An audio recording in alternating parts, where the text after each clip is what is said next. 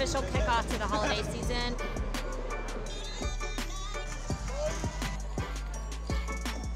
We have 116 different floats down the 1.5 mile parade route.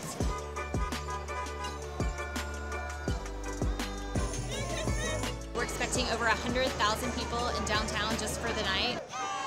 The largest eliminated holiday parade in Texas, and it's one of the largest in the United States.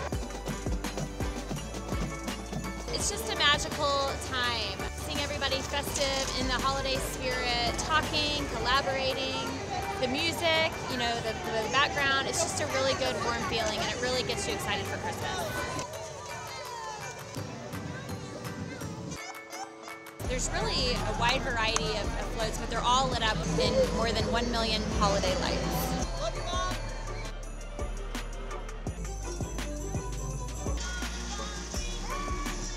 Nice to come out and like experience like a live event in person, be with fellow you know, community residents and just ex get excited for the holiday season. We're just proud to be in, in downtown Fort Worth once again, and it's, it's a gift to the city.